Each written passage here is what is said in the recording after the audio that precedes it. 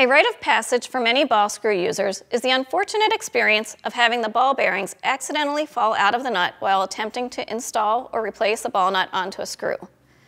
To help you avoid this mishap, I'll demonstrate the proper method of installing or replacing a ball nut. There are multiple reasons that make installation or removal of a ball nut necessary. These include new ball screw installation, flipping the orientation of the ball nut, and ball nut replacement at the end of life. Thomson ball nuts are typically provided on an arbor for storage and installation.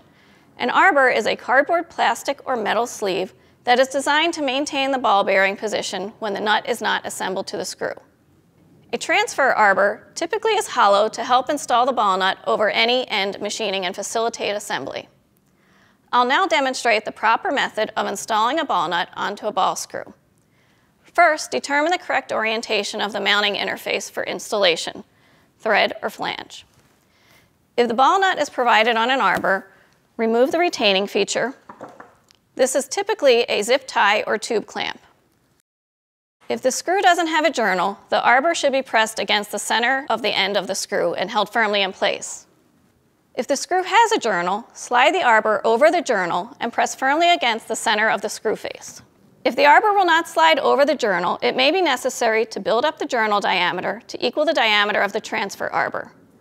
Thomson recommends using masking tape to build up the journal as this provides an easy, soft, non-marking solution. Next, rotate the nut until the ball bearing tracks align and the ball bearings engage the ball thread of the screw. Don't be discouraged if this doesn't happen immediately. Once engaged, spin the nut completely onto the screw and remove the arbor. If you find the need to remove the ball nut from the screw, you can easily do this by transferring the nut back to an arbor. To do this, align the journal on top of the arbor and rotate the ball nut back onto the arbor.